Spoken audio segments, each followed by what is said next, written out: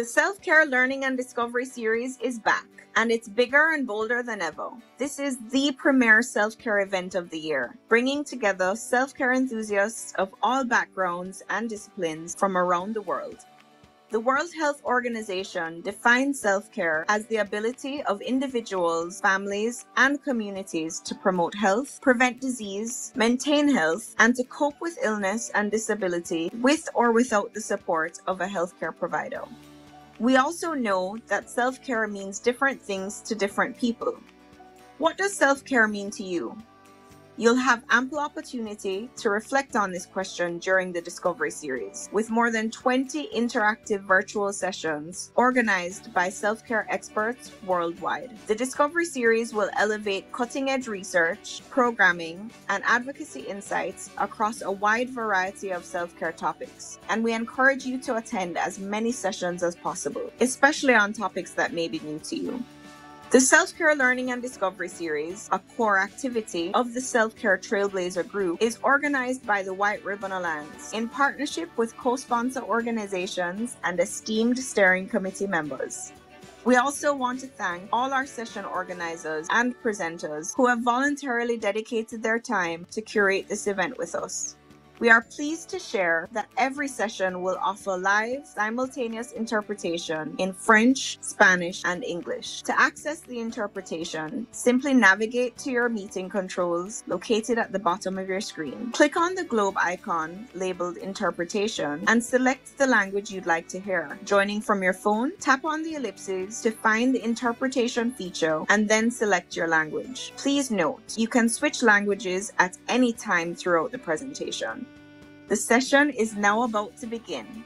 Don't forget whether you're working to influence policies or programs, advance universal health coverage, or improve your own self care. We hope that you will take the learnings from today's discussion and apply it to your own work. To that end, we invite you to continue the conversation and take action with us by becoming a member of the Self Care Trailblazer Group.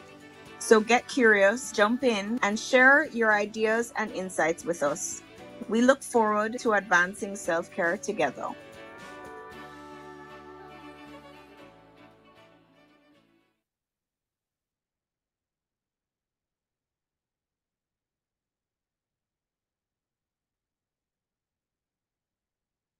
Good morning, good afternoon, and good evening to everybody.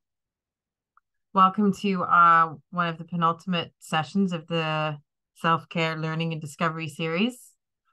My name is Petra Proctor. Uh, I am a senior program manager uh, at Concept Foundation, coming to you from Geneva in Switzerland.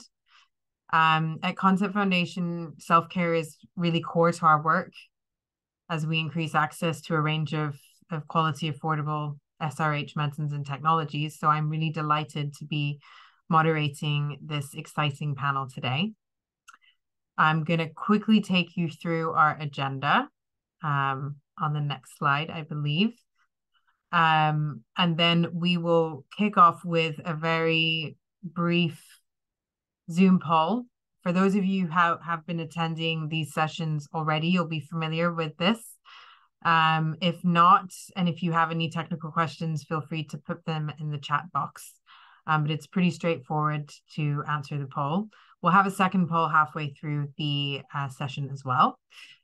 So today's session is all about different types of bleeding that women and girls can experience as part of their their uh, daily reproductive health. Um, so we are going to have four presentations um, on four distinct topics, but all linked by the um, by uh, reproductive health bleeding. Uh, the first will be focusing on management of menstrual bleeding in Bolivia. Secondly, we will have a presentation on menstrual regulation in Guatemala and Peru. Then we will hear about post-abortion bleeding in uh, India. And finally, um, contra- contraceptive-induced menstrual bleeding um, and changes in Kenya. So our speakers, our four speakers, are actually five speakers we have today, um, will be presenting um, research and programmatic findings on each of these topics. So we'll move on now to our quick poll. You should see this coming up on your screen. So according to UNICEF, how many people around the world menstruate each month? Please go ahead and pick your answer out of the four. People. Mm. We're seeing lots of different answers. Interesting.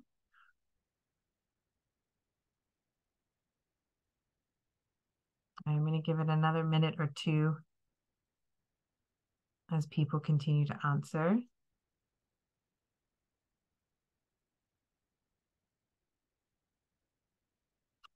All right, I think we can end the poll.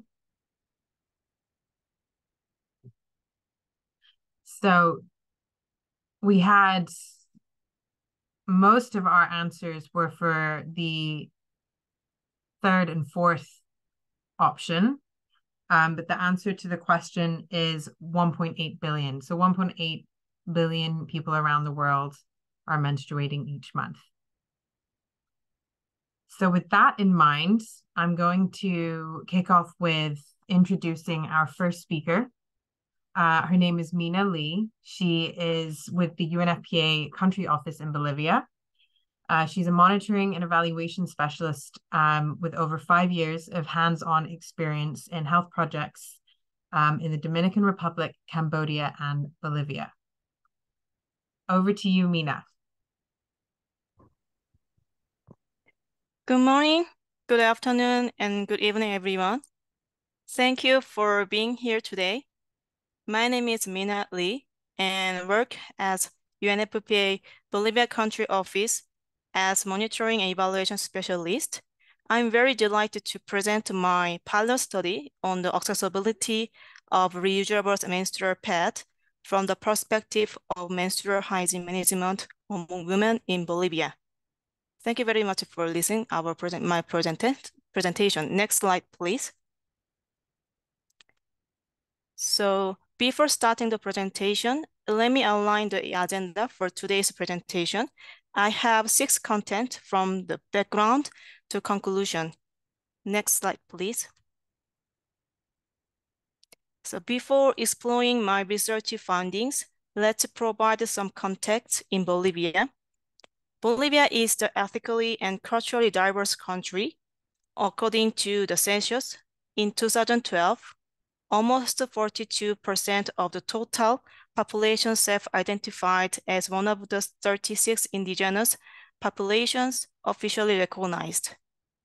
The Bolivian population is also very young, with 4 out of 10 inhabitants between 10 to 29 years old. Over the last years, income equality has reduced and human development index has increased. However, the country is uh, in lower middle income country Furthermore, the COVID-19 pandemic has led to unusual economic crisis with increasing poverty and a great difference, differences among the almost left behind populations, such as indigenous, rural women, young people, and adolescents. The country is top 10 most vulnerable countries to climate change globally, characterized by repeat floods and wildfire which especially impact indigenous women and adolescents. Next slide, please. Menstruation hygiene management is a crucial aspect of women health worldwide, and Bolivia is no exception. Reusable menstrual pads have emerged as a sustainable and cost-effective alternative to disposable pads in recent years around the world. However, their adoption among girls and women in Bolivia is still limited and insufficient access to education and resources, resources on menstrual hygiene management. And Bolivians girls and women still resort to using non-hygienic methods, such as old clothes, to manage their menstrual flow. In schools, has inappropriate bathroom for menstrual and hygiene management. As you can see this picture that uh, I was able to sort out this picture from the uh, Bolivian schools in rural area. There, are, there was not good condition toilet for menstrual and hygiene management in schools. And this lack of the proper sanitation infrastructure can make it difficult for girls and women to manage their menstrual hygiene and dignity. This compounded by inadequate waste disposal facilities for used menstrual products, and it could lead to environmental concerns. Unlike, unlike other countries, Bolivia has not made progress in ensuring free access to sanitary products, and 30% value-added tax is applied. This means that some of girls and women could hesitate to buy their menstrual product. Next slide, please. Hmm.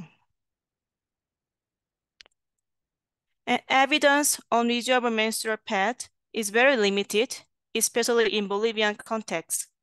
My research aim a specific objective for examining Bolivia females and girls' acceptabilities of reusable menstrual pads and how they can improve their menstrual hygiene management. And with key objective, this research enabled to cover a range of important aspects related to menstrual hygiene management and reusable sanitary pads.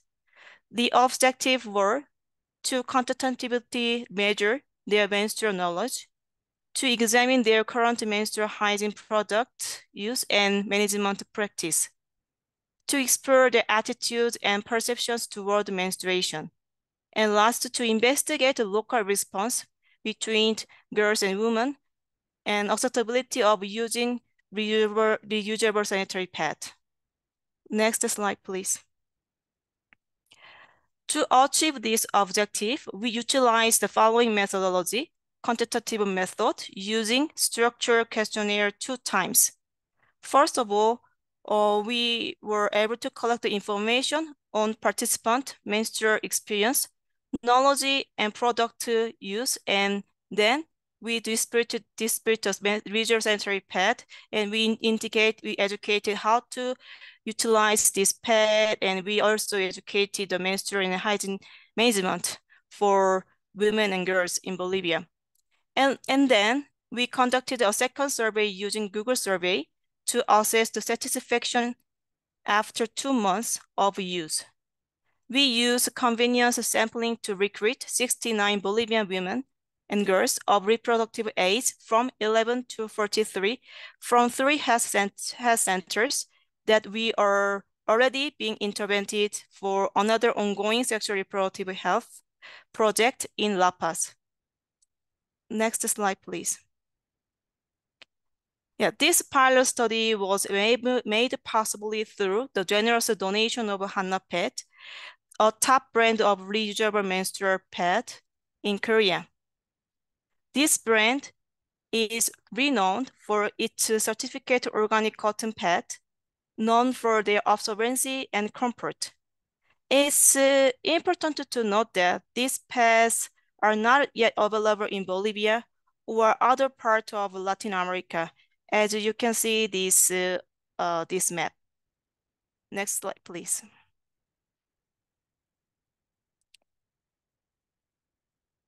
So these were a menstrual and hygiene management kit that we provide. This kit contained a small medium, and overnight size of a Hannahpad, along with the laundry soap, a pouch, and instruction leaflet. So they knew and they understand, they understood how to wash and take care of those pet, those reusable sanitary pads uh, as, as, as they can see the instruction leaflet. Next slide, please. So now let's move on the most exciting part, the key findings. The result of our research are as follows. The first key finding relate to the current menstrual hygiene product you see, and management practice was that 99% of participants use disposable sanitary product.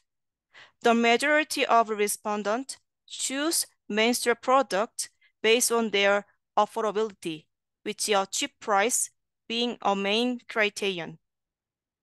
A significant 59.4% of respondents reported that uh, not managing the menstrual pain very effectively. And also noteworthy, 74% of them have experienced hesitancy when buying menstrual product. Next slide, please. According to the knowledge of reusable menstrual pad, more half of them did not know or did not hear about those pads. And 68.4% of them said it would be difficult to find those pads in the stores. And more 50% of them thought that washing and managing, managing those pads would be very difficult. Next slide, please. So after two months of using reusable menstrual pad, uh, we was able to conduct the, the another uh, satisfaction questionnaire between our participant. So we found that reusable menstrual pads were generally acceptable and beneficial alternative to disposable pads. Uh, over 80% of participants reported satisfaction with non-blood linkage, reduced expenses, and comfort. Some users experienced improved overall health and reduce menstrual pain while using those reusable sanitary pads. And 60, uh, 76% of them express a desire to continue using this reusable menstrual pad and significantly 90% of them would recommend those pads to their friends or a person one knows. Next slide, please.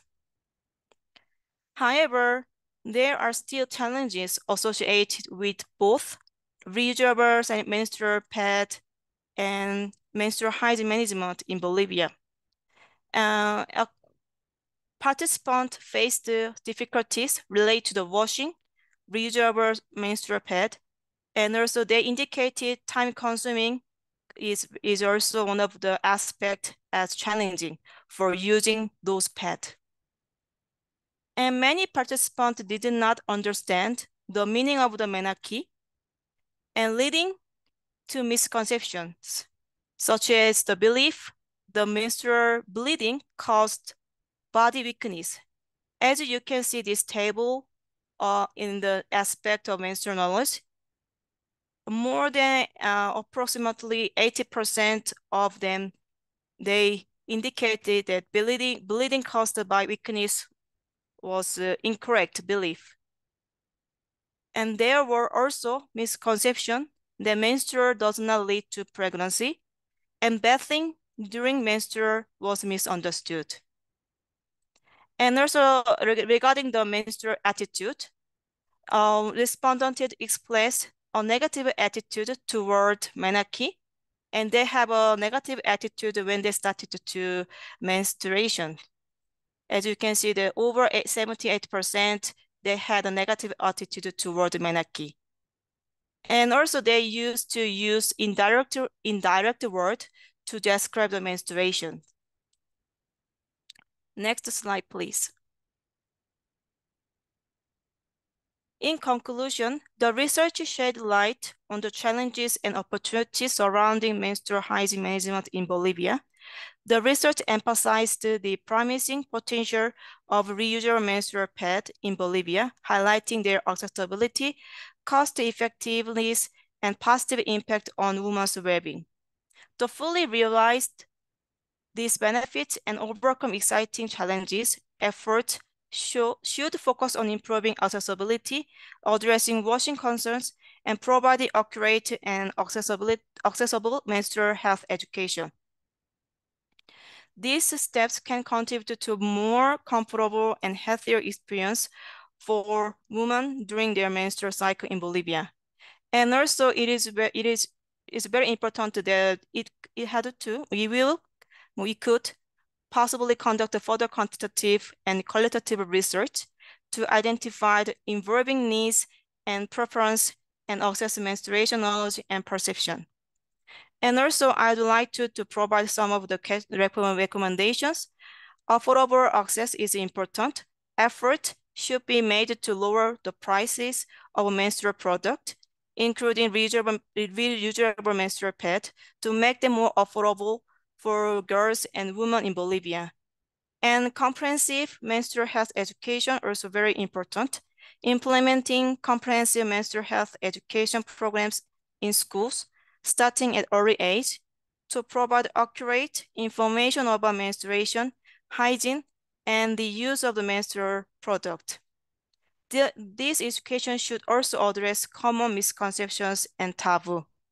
In the in, in the finding that we can see that uh, the woman, the generally women and girls had a negative attitude when mm, they has had a menarche. So it is more important to, to provide ed health education, especially menstruation, at all ages.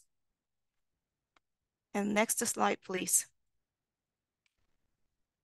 So now you may leave any questions you may have. So I think that it is better to leave any question in our chat so that in the Q&A section, we can discuss more about uh, your questions. So thank you for your attention and insightful questions.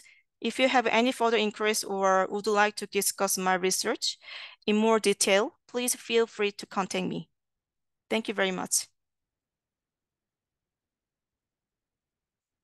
Wonderful. Thank you so much, Mina.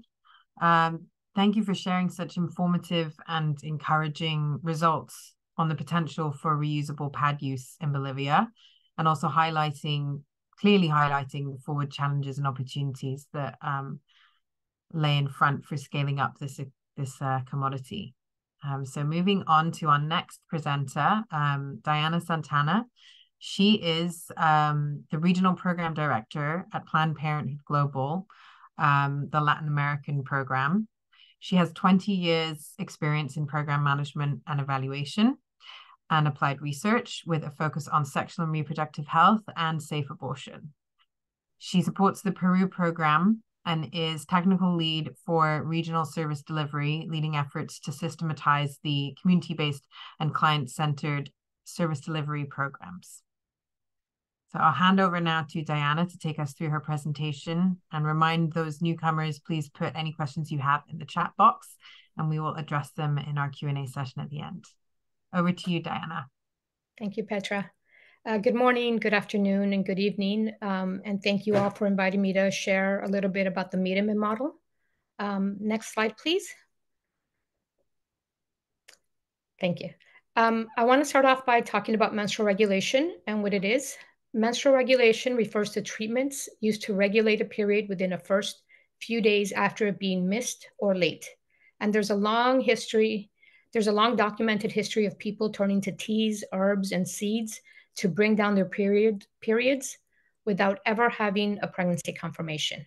For instance, in some Mayan cultures, traditional midwives can provide herbs or medicinal plants to bring down a late period and therefore cleanse the uterus. And in the days before the legalization of abortion in the US, a procedure called menstrual extraction was used to bring down a person's menstruation.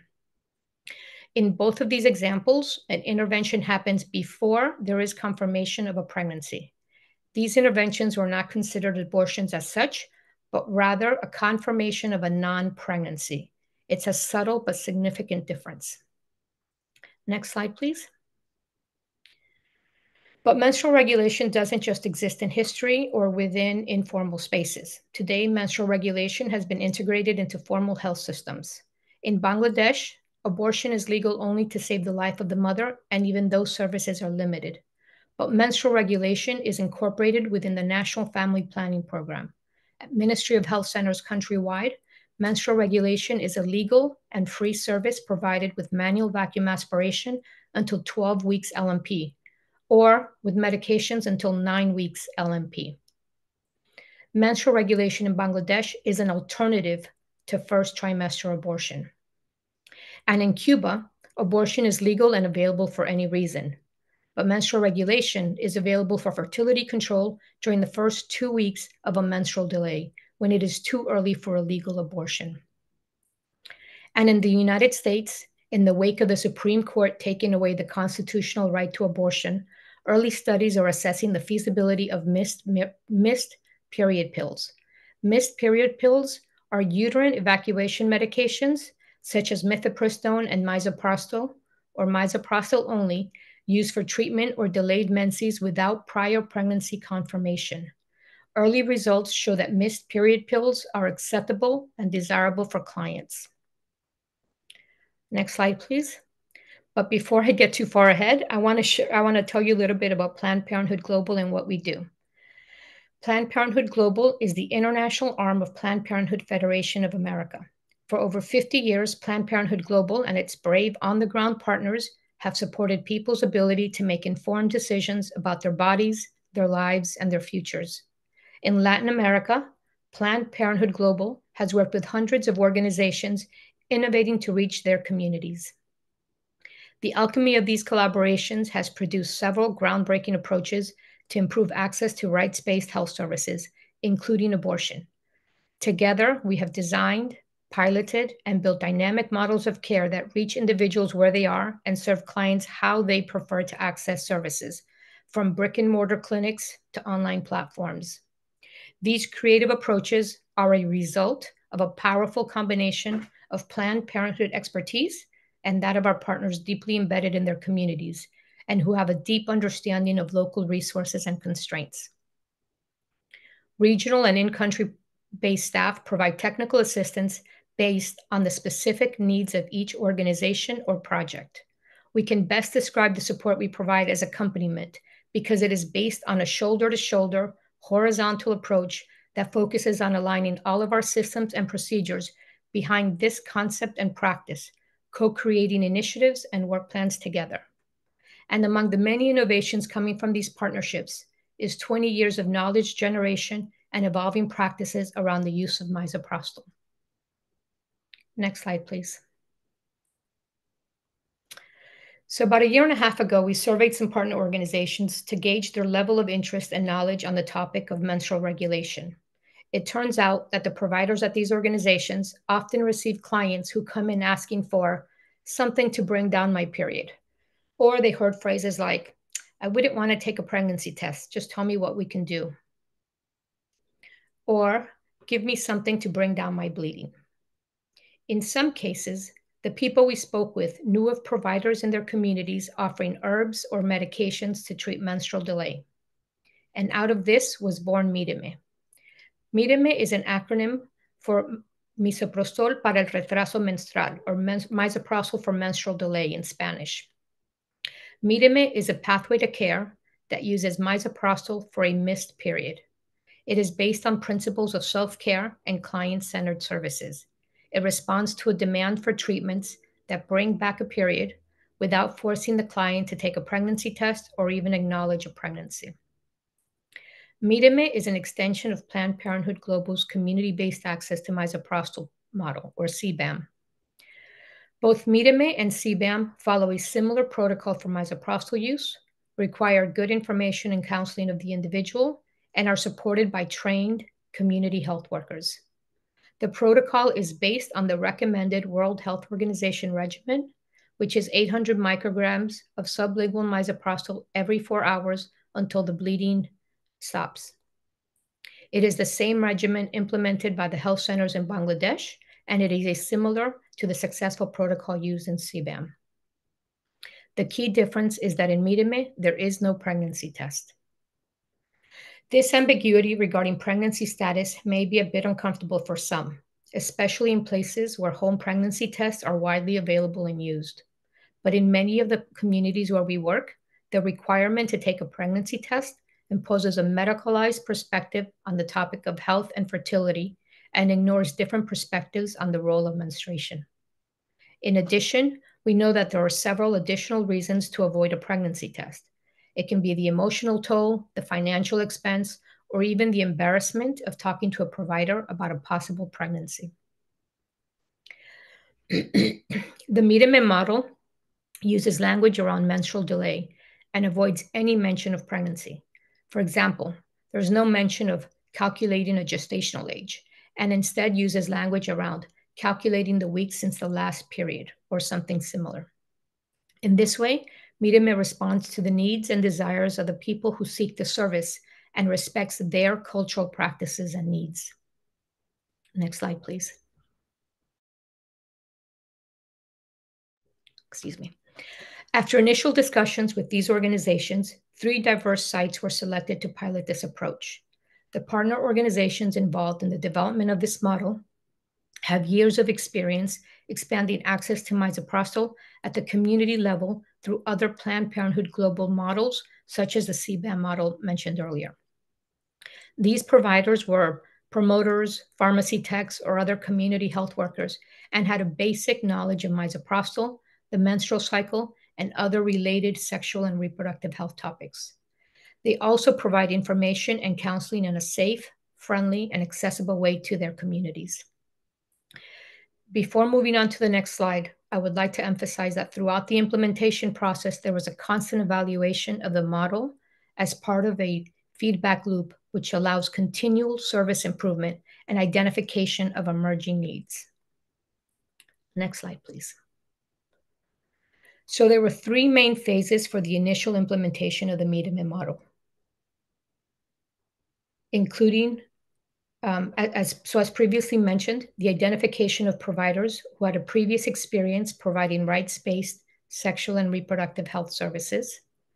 Training of these providers included a deeper understanding of rights-based community services, additional considerations when coming across the need for menstrual regulation, as well as specialized counseling and identification and linkages to additional support networks or referral points as needed.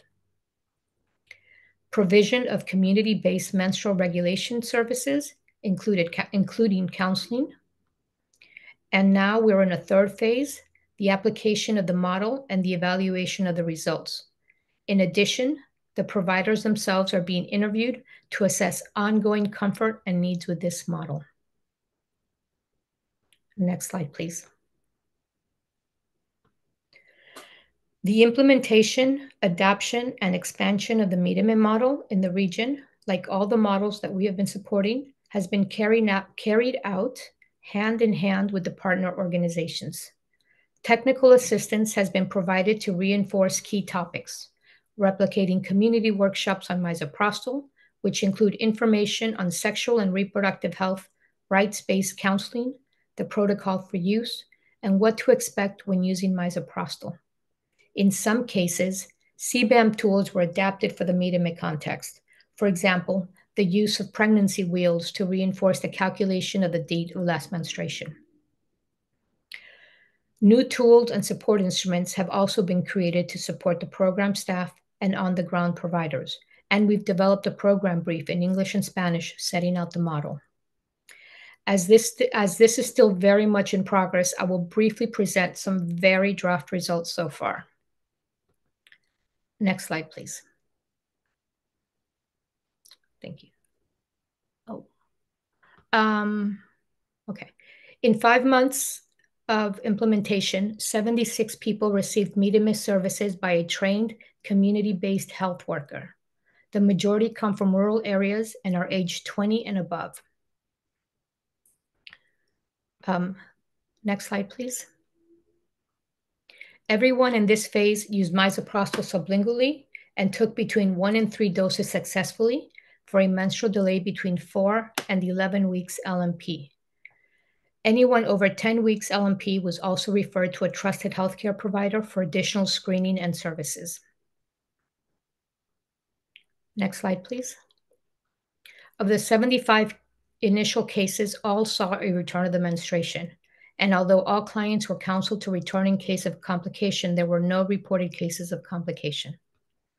Next slide, please. the uptake of self care seeks to improve the social landscape around decision making, access to technology, and when needed, creates links to additional services. It also puts individuals themselves at the center of their care. Míreme is an innovation. Oh,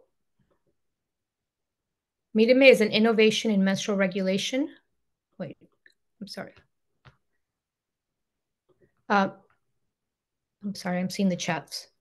Míreme is an innovation in menstrual regulation and an important step for self-care. Míreme expands opportunities for people to make informed decisions regarding a delayed menstrual period and whether or not to confirm a pregnancy.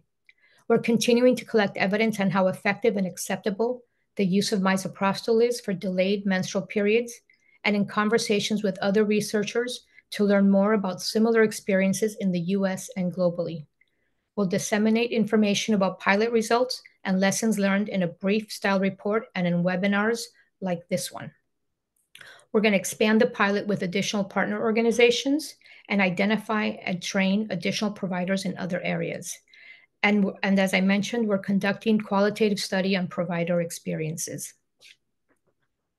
And at the forefront of attacks on sexual and reproductive health in the US and worldwide, I want to invite you to think about how you can incorporate or adapt more user centered services, including how to put misoprostol in the hands of the people who need it the most. Thank you very much. Next slide.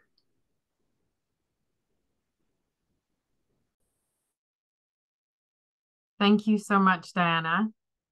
Um, wow, that was really, really interesting. And I think um, exactly the kind of research we need to really push the needle on menstrual regulation being a, an effective and, and um, more widely accepted fertility regulation tool and, and method for, for uh, individuals to take control of their reproductive autonomy. So moving on, we're going to have a quick break um, and have another poll question, which you should see pop up on your screen. So our second question today is, according to the Guttmacher Institute, worldwide, approximately what percentage of unintended pregnancies end in abortion? So we will wait till we see critical mass has participated and then share the outcomes.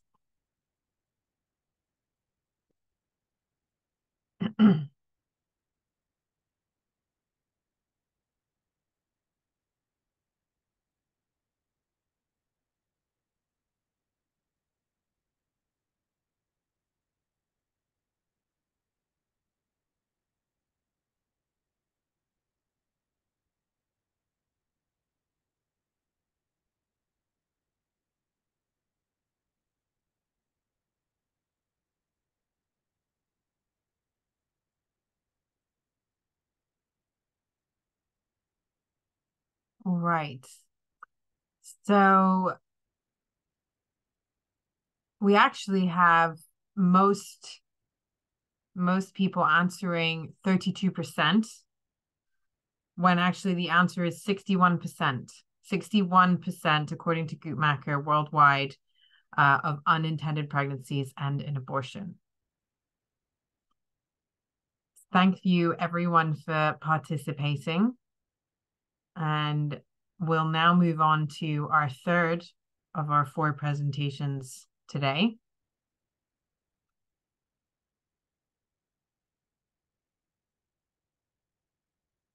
So our, our next speaker is uh, Katie Key from IBIS Reproductive Health.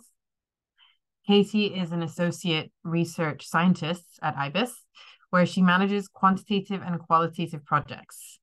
She's currently leading work focused on reconceptualizing measurement of abortion outcomes and complications, as well as research evaluating interventions that expand access to abortion accompaniment models in various settings.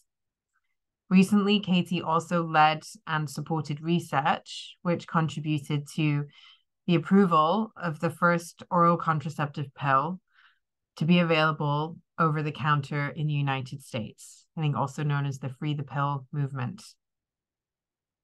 So Katie will be presenting today on management of post-abortion bleeding in India. Over to you, Katie. Thank you, Petra. Thank you all. Good morning, good evening, and good afternoon, everyone. My name is Katie Key. I use she, her pronouns, and I'm an associate research scientist at IBIS Reproductive Health. IBIS is a nonprofit research organization with offices in the United States and South Africa, and we conduct social science research on access to abortion and contraception around the world. Today, I'll be sharing findings from a study that we conducted in partnership with the Family Planning Association of India on medication abortion experiences.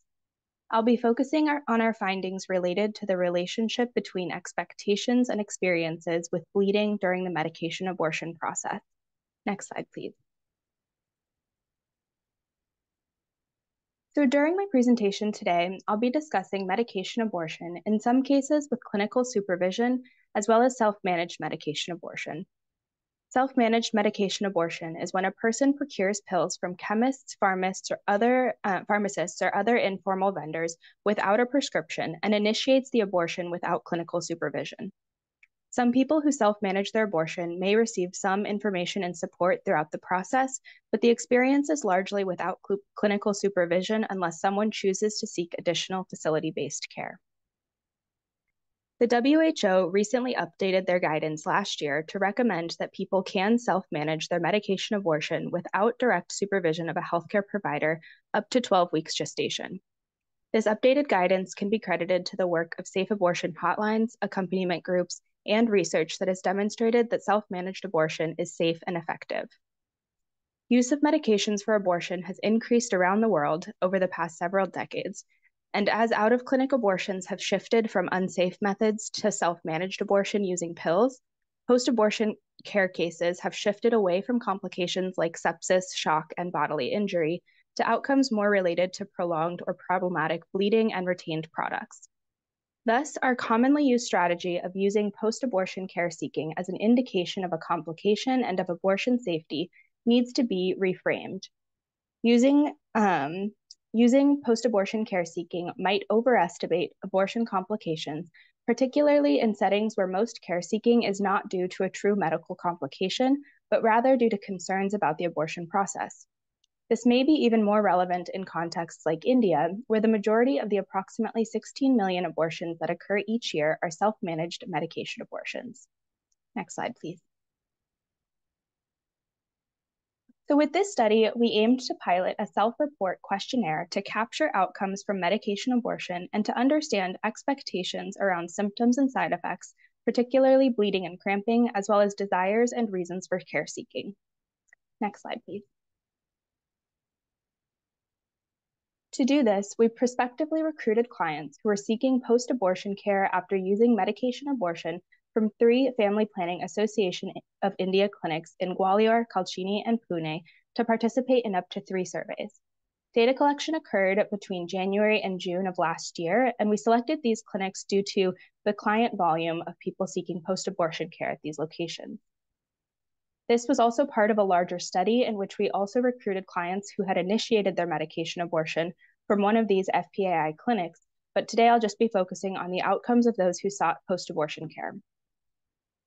So, the baseline survey, which was administered to clients before they left the clinic after seeking care and after receiving their treatment, measured participants' expectations around bleeding and cramping, information received, experiences with bleeding and cramping, reasons for care seeking, and their medication abortion outcomes. We also surveyed providers who treated these participants via a standardized chart abstraction tool to observe or to capture observed symptoms from the provider's perspective and the medical treatment received. Next slide, please. So now I'll discuss a little bit more about our results specifically related to bleeding. Next slide, please. So from our larger sample, 156 participants reported taking medication abortion pills prior to arriving at the FPAI clinic. Of these participants, a majority reported self-managing their abortion and procured the pills from a pharmacist or chemist, while a small proportion procured pills from another facility or clinic, so a clinic that was not a, an FPAI clinic. We asked participants to report whether or not they had received information about key aspects of the abortion process prior to starting their abortion, and overall, participants reported a lack of information about what to expect. Most notably, less than a third of participants received information about how common side effects of the medication should be managed. Only half received information about warning signs and how to identify potential complications, and 46% received information about how to prepare for the amount of bleeding to expect. But 38% of clients also said that they were not told anything about the actual amount of bleeding that they should expect, about half said they were told the bleeding would just be a bit more than a typical period, while only 9% were told that bleeding would be a lot more than a typical period. Next slide, please.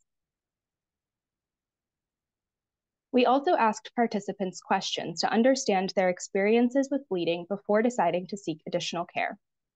Most clients reported bleeding at some point prior to arriving to the FPAI clinic, and of those that experienced bleeding, more than half reported heavy bleeding at some point.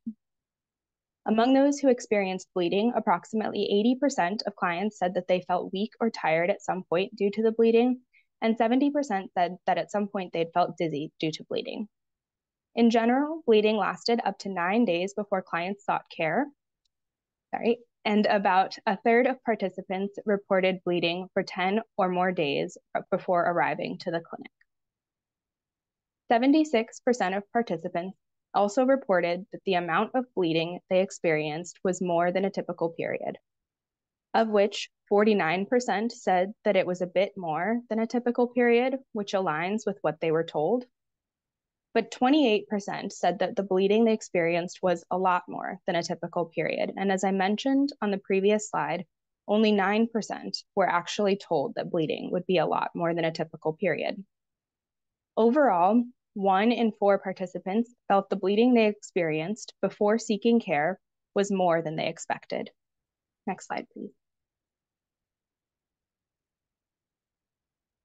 We also asked participants to rate their preparedness to manage bleeding on a scale of one to five, with five being very prepared and one being not prepared at all.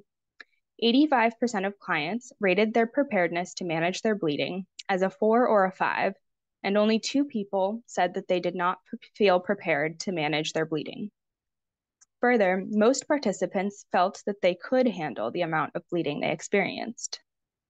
However, when we asked clients about their concerns regarding their bleeding, among those who had reported bleeding at some point prior to seeking care, most participants felt somewhat or very worried about the bleeding they experienced. These results demonstrate how preparedness, expectations, and oh, sorry, I'll slow down more. Um, these results demonstrate how preparedness, expectations, and worries are very nuanced. People reported feeling prepared and able to handle the amount of bleeding they experienced, while also expressing concerns or worries. This highlights how a single measure of concern may not be able to capture the full picture of people's experiences. These results do, however, relate to what we find when we look at the client's reasons that they reported for seeking care. Next slide, please.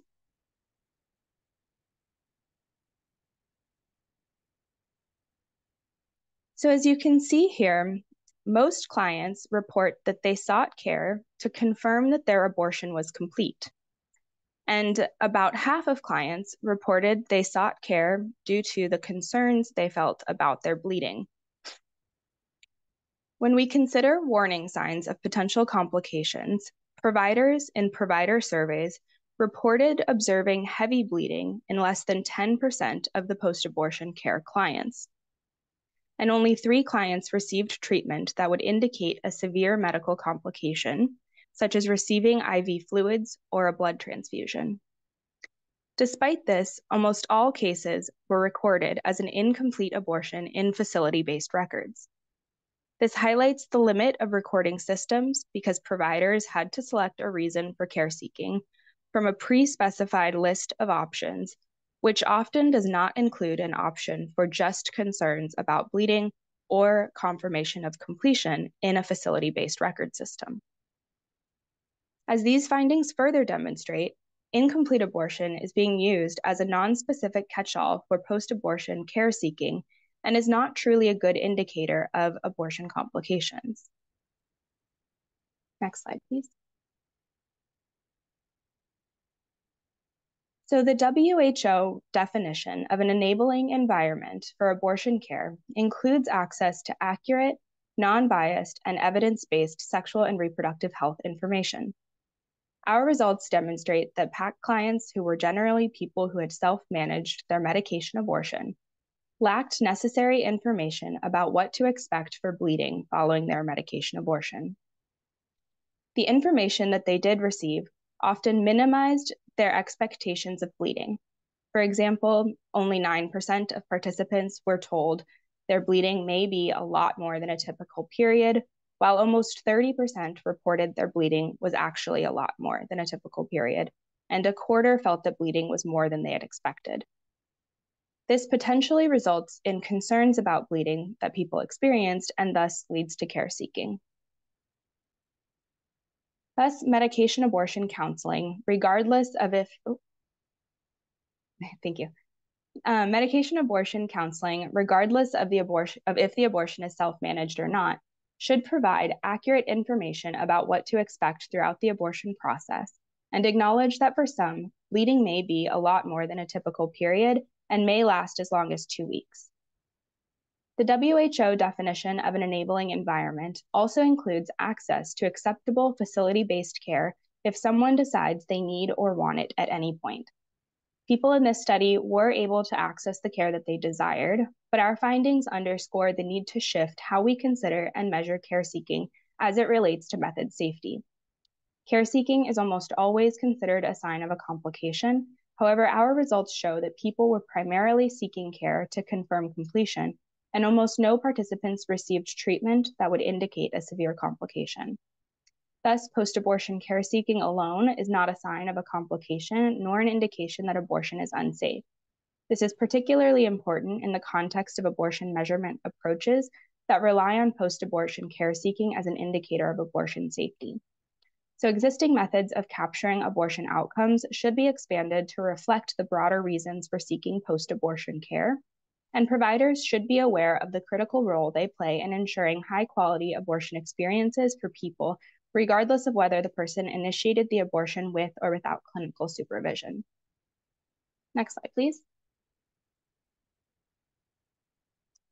So before I wrap up, I also wanted to share the graphic series that we recently created with Agents of Ishq based on findings from the larger study where we continued to identify information gaps around the medication abortion process and what to expect.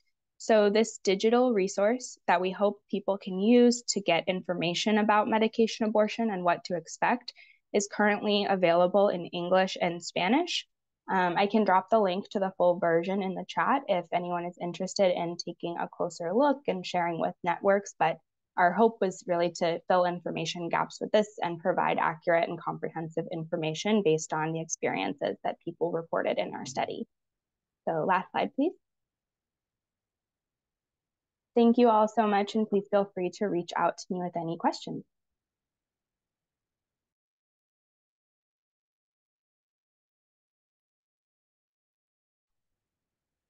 Fantastic. Thank you so much, Casey, um, for sharing this in-depth look into user experiences, which we know there's still a lack of data on. So I think this work's super critical and um, helpful to understand perceptions of, of users and, and understand how we as a community, in particular providers, can improve those experiences when users are self-managing their abortions. So thank you. Um, last but not least, we move on to our fourth and final presentation of the session, um, and I encourage everyone in the audience to pop your questions so far into the chat box. Um, and we will, it looks like, have quite a lot of time for questions and answers as we're a little bit ahead of schedule. So please, please think of some questions um, that we can ask our presenters. So our final speakers today are, we have two speakers. We have Alice Olawo, who is with FHI 360. She's a senior technical officer, um, and she works with FHI 360 under the SHINE project, which refers to research on the scale up of hormonal IUDs in new and emerging markets. Under the SHINE project, uh, she has supported building the capacity of community health workers to educate women in contraceptive induced menstrual changes through the normal job aid, which she'll be speaking about today, she has over 17 years of experience in both programming and research in the fields of family planning and reproductive health, also HIV AIDS prevention, care and treatment, and also maternal and newborn health. So our second speaker, um, who will be co-presenting with Alice, is Dr. Marsden Solomon. He's an independent consultant um, his background is gynecology and obstetrics with over 30 years experience in reproductive health, family planning and maternal and newborn and child health service delivery. He has experience providing overall technical oversight and leading teams of committed and highly skilled technical presenters, um, personnel, sorry, in the various um, maternal, newborn and child health and family planning technical components. He's currently working as a consultant for selected FHI 360 projects. So without further ado, I will hand over to Alice and Marsden. Thank you.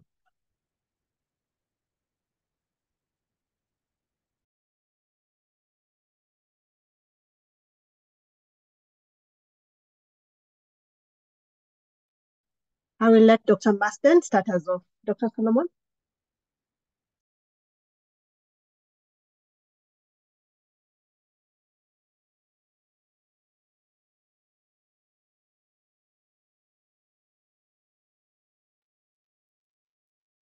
Sorry, guys, you just bear with us.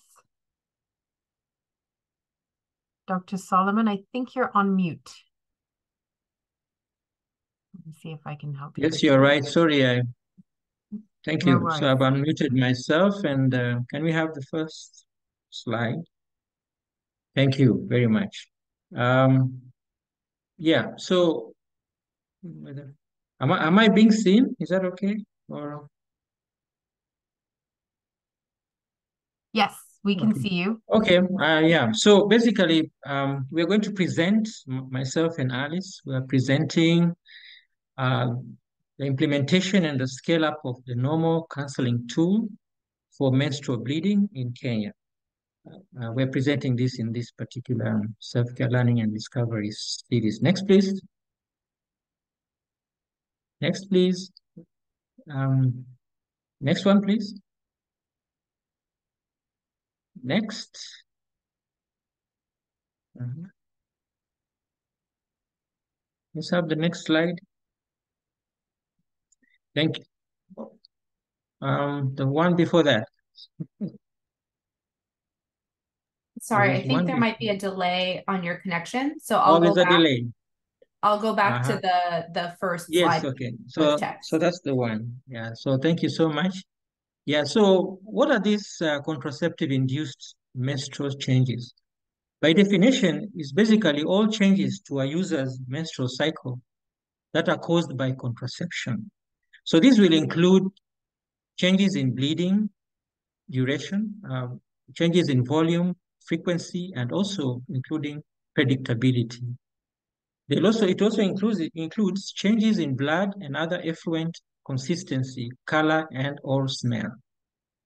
It also includes changes in uterine cramping and pain, also um, including other symptoms like um, before, during, and after menstruation, uh, changes in experiences of um, experienced in menstrual and gynecological disorders and symptoms uh, such as endometriosis. And then also it includes short-term changes to menstrual cycle after discontinuation. Next one, please. Yeah. So fears and misconception about contraceptive-induced menstrual changes contribute to discontinuation and non-use of family planning. Uh, at the same time, amenorrhea or reduced bleeding can have important non-contraceptive health and lifestyle advantages for women. Current FP counseling materials, as they exist, inadequately address these women concerns about bleeding changes. And uh, the normal job aid uh, tool aims to fill this gap. Uh, there is that um, link there provided to, so that one can follow and get a small review of counseling materials conducted by the FHI team showing this gap. Next, next, next uh, slide, please. So uh, there was a study that was implemented here in Kenya and um, uh, titled A Field Test of the Normal Job Aid with the Community Health Workers in Kenya to Address Contraceptive-Induced Menstrual Changes. It was published in Global Health Science and, and Practice. And basically, uh, the justification to have this study was that there was a need to develop a counseling tool for menstrual changes that was simple and more accessible to clients and community health promoters. The, the study design for this um, uh, te field testing, more, more or less, uh, was um, was was uh, was a pilot that was used was was piloting the use of the job aid with the community health promoters and following them up with um, with in-depth interviews. The study objectives one to pre-test a draft job aid to obtain feedback on its compre comprehensibility, acceptability, usability, and recommendations for improvement. It was also for, to test a revised job aid with the community health promoters to understand how it is used, challenges in using it, and recommend, recommendation on how to improve it.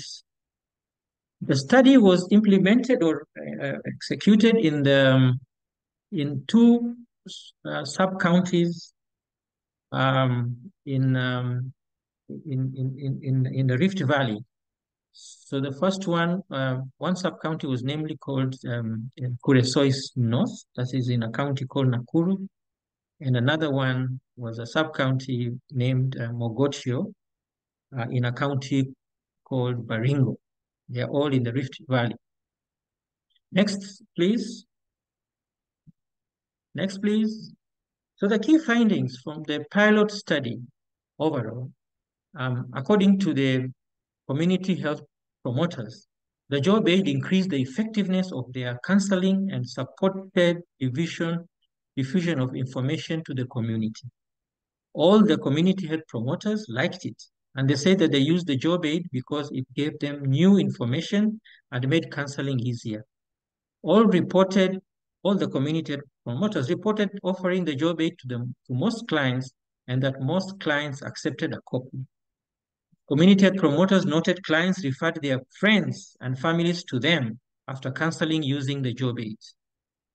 The same community promoters say that the job aid reduced clients and their male partners' concerns about contraceptive-induced menstrual changes and help clients to select or switch family planning methods. Next slide, please.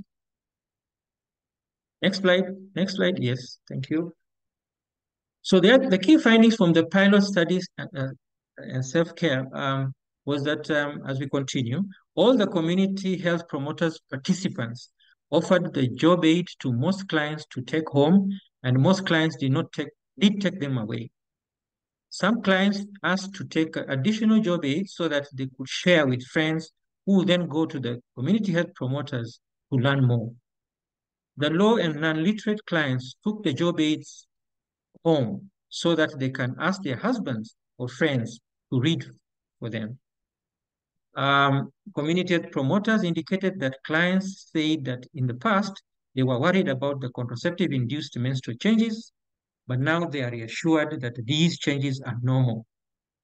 A quote from the one of the community promoters uh, says, states this, it has helped them, that is the community promoters, it has helped them because initially they were worried but when I when when I uh, when they say the community health promoters stated that when I educated them, they were satisfied and they continued using without any fear.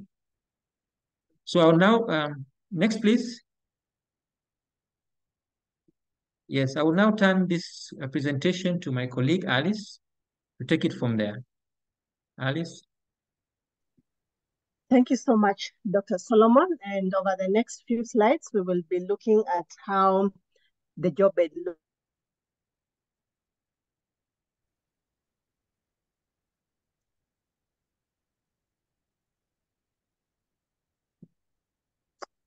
So the job aid comes when it is laminated in A4 size. Um, the, the Kenya A4 size is a normal uh, foolscap. And so it's come, it comes when it is laminated, uh, the front and the back side. And so the front side uh, provides an introduction to the contraceptive-induced menstrual uh, changes, the job aid itself, and the emphasis is a reminder to um, the community healthcare worker to emphasize the fact that these changes are, you know, it is common and normal to have changes in menstruation when they start to use some of the family planning methods. So that is the main message that comes at the front of the job aid.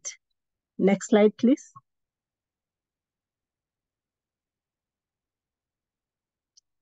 In addition, we also see parts, again, the front side of the job aid. We now see the initials normal, and each of them is spelled out. And these are usually the key messages that the community um, healthcare workers use to counsel their clients, educate, and you know, counsel and educate their clients. So the first letter, which is normal, the community health workers um, emphasize the fact that it is normal and safe to have the changes in their monthly periods when they use some of the family planning methods. And it is also a reminder to them that, you know, they will experience different changes. It is not common for everyone to have the same changes. And then the O is um, a reminder that uh, some of the menstrual changes, such as the lighter bleeding or when there is a pause in bleeding, will provide opportunities for the users to get strength and also to have freedom so that they can go on with their daily activities. For the app, the community health workers educate the women that um, their monthly periods and fertility will return to normal when they stop using family planning. Again, return to, fast, uh, to fertility is usually one of the main concerns for contraceptive users. And so they are concerned, you know, sometimes they are, they're worried, you know, will they um, get pregnant when they stop using the contraceptive method. So that this is a reminder that indeed they will return to fertility whenever they stop using the family planning method. And then the M is a reminder for them that different family planning methods can cause different bleeding changes. Again, this is an emphasis that, you know, it really depends on what method they're using. And so the contraceptive changes are not similar across the methods. Each method has different contraceptive, has different menstrual changes that take place. And so that is the um, emphasis during the M. For the letter A, again, the women are counseled and educated that when they experience absence of monthly bleeding, it does not mean that they are pregnant. Again, this is usually one of the concerns from our experiences when the women do not um, have their periods, they worry that they could be pregnant. And so upfront, they are educated and reminded that this does not mean that they are pregnant. And then for the L, they are talked to and reminded that should the contraceptive, should the monthly changes that they're experiencing stop them from, you know, continuing with their routine activities, then they need to seek medical advice so that they can be provided with alternative treatment. So those are the six key messages that form the letter, no, the, the word normal when it comes to the counseling messages. Next slide, please. In addition to what we have seen, the, the letter, the word normal, and the key messages that come with each letter, there's also a list of common bleeding changes for each plan, family planning method. Remember, the different family planning methods come with different um, bleeding changes. And so for each and every method, for the injectable, we have uh, bleeding when they don't expect it. We have spotting, we have less bleeding, and we have more bleeding, and sometimes post-bleeding.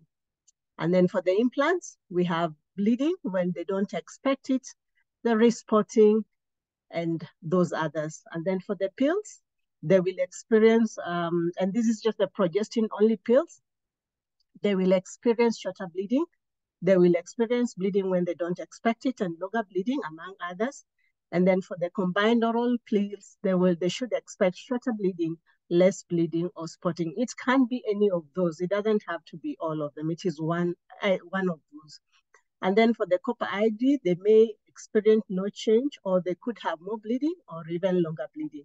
And for the, mon uh, for the hormonal IUD, they could experience bleeding when they don't expect it, less frequent bleeding, or even post-bleeding. Next, please.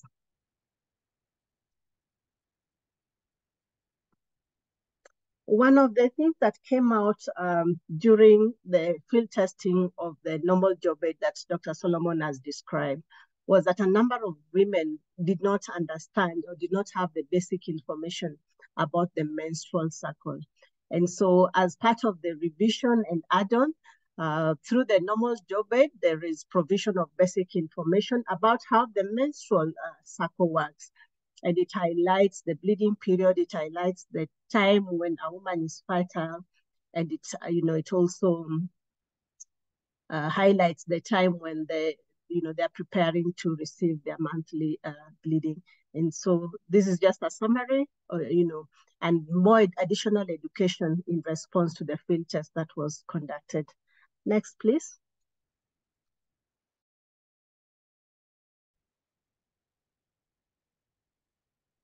A lot has been done uh, within uh, the Ministry of Health in Kenya. Um, once the job was uh, field tested, uh, this was adopted nationally by the government. And so a number of things have been done as a result. First of all, Recently, uh, Kenya developed self-care guidelines in reproductive health, and the job aid has been added to the self-care guidelines to continue with the education. Apart from that, within the Division of Reproductive and Maternal Health, now the normal job aid is included as part of the documents that are in this package. Again, Kenya is currently um, rolling out hormonal IUD as well as DM, uh, DMPA-SC. And part of that orientation package includes the normal job aid that the um, community health care workers use to, you know, for educating women in the community. And it has also been included in the um, in, in, in the training materials for the community healthcare providers that as had been mentioned in my introduction, it is part of what is being used to build capacity of community health promoters to educate women in the community about potential menstrual changes. And so Kenya has uh, adopted the wide use of the um, normal job aid, and we are happy that it is um, in use across the country. Next slide, please. And so if you, you require to, if you'd like to take a look at some of, of the job aid, uh, job aid itself, uh, please feel free to click there. And we also have um, results from the pilot. And just to mention that the job aid is in different languages. We have uh, the job aid in uh, English, we have the job aid in um, Kiswahili, and now we also have it in two uh, local languages. So it's available in four different languages in Kenya. Thank you, and back to you.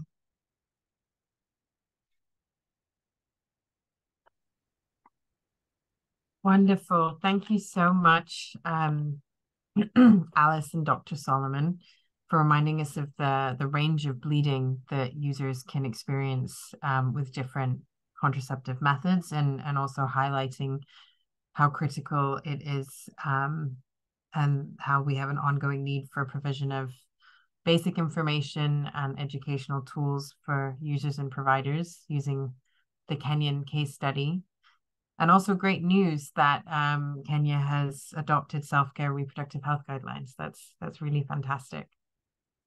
So I want to thank all of our presenters today for preparing such interesting and comprehensive and informative presentations. I think this has already been said, but for those of you who haven't seen the message, the slides will be shared, and I believe a recording is being made. Yes, it is of this uh, of this um, sessions, so you'll be able to access it afterwards if need be, and also share it with colleagues potentially who weren't able to join today, but were registered. Um, we I also want to thank everyone for managing to speak slowly, but at the same time keeping on time. So we've wrapped up um, with an extra couple of minutes for questions and answers, so that's great. Um, I've seen that there's been some back and forth already in the chats. There was a few questions for Diana. Um, but I will open up the floor to see if there are any other questions from anyone in the audience for any of the speakers. Um, or if you prefer to put your question in the chat, then please go ahead now. Um, so I'll wait a few minutes for that or speak up or put up your hand if you would like to ask a question.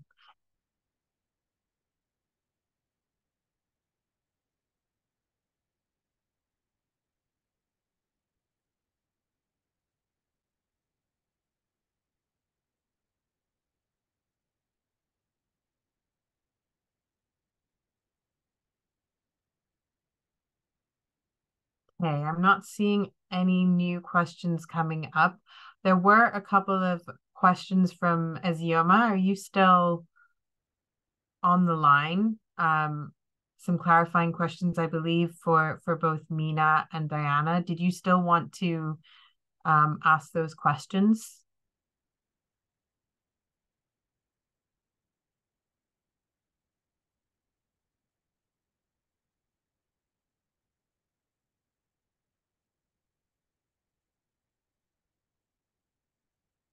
Yeah, I'm going to take that as a no, or that maybe he's left. Um, so in the meantime, while we wait for potentially some more questions, if anyone has them, I have a couple myself. Um, my first is to Mina. Um, I know one of the backdrops for your for this work, the work you were presenting on the reusable pad option in Bolivia, has been um, the climate change situation in Bolivia and the environmental element. Um, correct me if I'm wrong.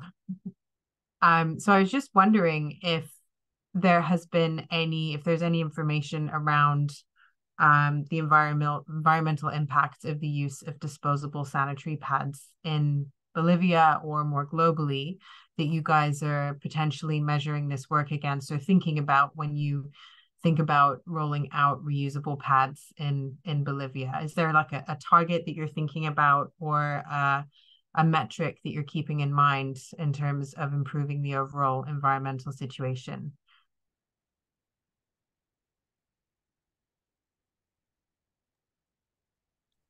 Thank you very much for your questions. very interesting. The climate change related to the menstruation, especially the disposal pad, the menstrual pad, right? I think that the most uh, no most uh, important thing the plastic waste and landfill impact, and also so in Bolivia there are a lot of uh, so far uh, in my perspective, uh, Bolivia it's now it has been enough to you know to uh, obtain the landfill.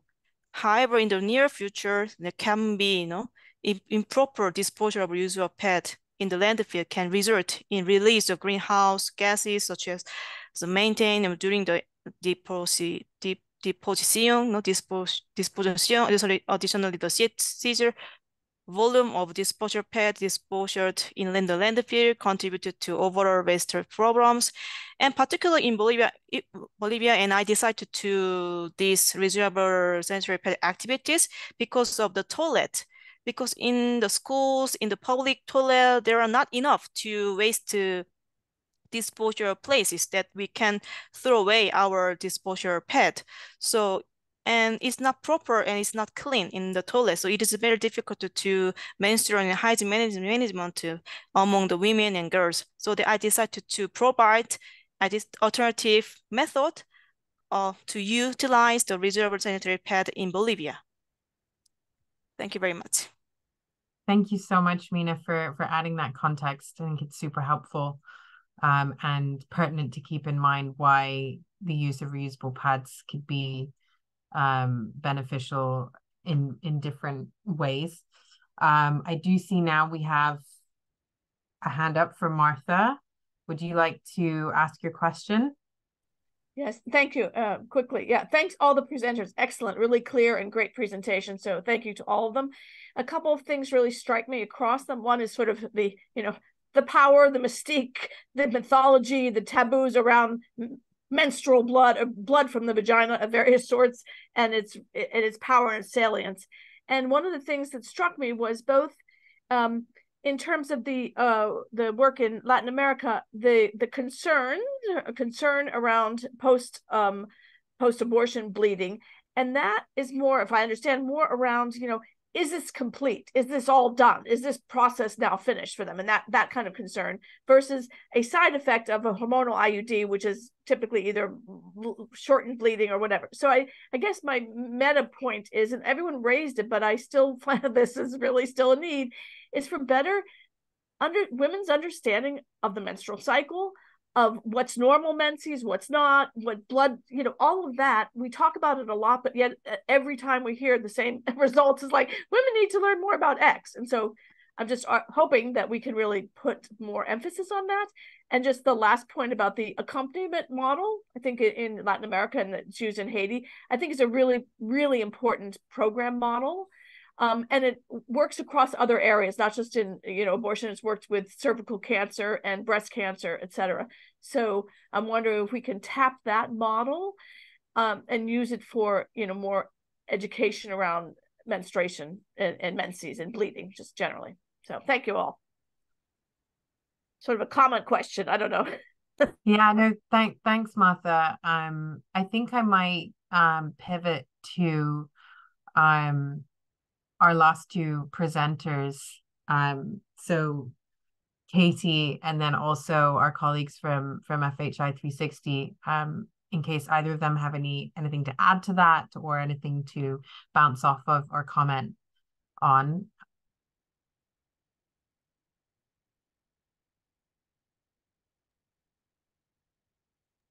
Sure. I'm happy to share a little bit and add on to it. I think it's a really great point about using accompaniment models and learning from colleagues in Latin America and the great work that folks are doing there.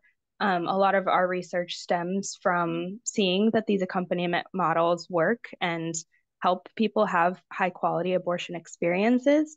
Um, and part of what our next steps are with the work that I mentioned in India is adapting the tool that I shared at the end of my presentation um, with more extensive and comprehensive information on the back of the graphics to help support um, ASHAs and local community health workers in India that are working with the clinics to be able to provide more comprehensive information and help them feel more comfortable answering questions um, to people who may be seeking just reassurance um, after taking medication abortion, whether that be with clinical or without clinical supervision. Um, so yeah, just a little uh, plus one to your comment as well. That's important pieces. Thank you, Katie. Dr. Solomon, I saw you yeah, I wanted to yeah, I wanted to just chime in on what Martha mentioned about uh, the, the the wide range of uh, um, concerns and information concerning the menstrual menstruation, the menstrual cycle. Yeah, and and and it and therefore um, it needs therefore to to sensitize more the populations uh, about it, especially the, the, the whole idea of um, when they're using the con contraceptive. Um, for example, when they're having, they're using a contraceptive and the periods have uh, have have, um, have, have ceased to be there, and therefore, in medical language, they are called that they've become amenorrheic. I think that's still a problem in terms of uh, uh, you know convincing a client where you know about the reason that most likely if they're on contraceptives, then and they're amenorrheic, then maybe they have no periods, then most likely they should still take it as normal. Um, but then they will have further questions to ask, and they usually do. Okay, so the the blood is, is not coming out. Um, so where is it going? Uh, is there is there a dam? A good number believe the the blood is being channeled somewhere else in the body um, to uh, maybe a dam or some some sort of a dam. You know, this is how they are perceiving the whole thing. So there's a lot of um, uh, passage of the correct information and uh, allaying their anxieties and fears yeah, so I'm, I'm just trying to agree with uh, what Martha's, Martha's concern is all about in terms of the menstruation information. Thank you. Thank you, Dr. Solomon. Um, we have still have a few more minutes. Um, Diana or, or Mina, do you want to add to that at all or have any other comments or anything else you would like to um, add in these final few minutes on top of your presentations? I want to add some comment that about the menstrual menstrual cycle. Yeah. In my, I didn't say in in my presentation here, but understanding menstrual cycle is very important in Latin America, and even in in Bolivia specifically, uh, especially because uh, as a, we also had uh, provided the questions do you know the menstrual cycle properly or not? So most of the participants, they don't know exactly how calculate their menstrual cycle. So I think that we need more put effort to educate more accurate about the menstrual cycle in around the world, not only Bolivia. Thank you very much. Thank you very much, Mina. So we have one more minute if anyone would like to ask one final question. Otherwise, I think we can move on to wrapping up this session today.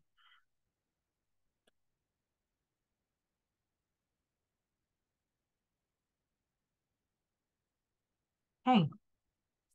So I think we can we can move on to wrapping up, um, which will only take a few minutes. Um, so again, huge thanks to our panelists today for submitting such fantastic and interesting abstracts um, that allowed for the creation of this session. Um, and also for everyone who's joined today and has showed their support and interest in the self-care learning and discovery series. Um, and a big round of applause to everyone who's been involved in um, in the series over the last few weeks, making it happen. It's um, I'm sure a lot of the resources will be available and accessible after this the series is over. Um, I want to remind everybody that there will be a quick survey circulated to um, participants um, and also speakers. So please, if you can spare a few minutes to answer that survey, it will help the organizers to um, improve on anything going forward. Um, and other than that, I would just like to wish you all a fantastic rest of your day, um, whether it's still to come or closing down and very much appreciate you all being here with us today. Um, thank you, everybody. And I don't know if um, my colleagues from, um, yeah, my colleagues Kim or Liz would like to say anything else. Otherwise, I will say goodbye to you all. Thank you, everyone. Thanks. Goodbye, everyone. Thank you Bye. so much. Bye bye. Bye, everyone. Bye.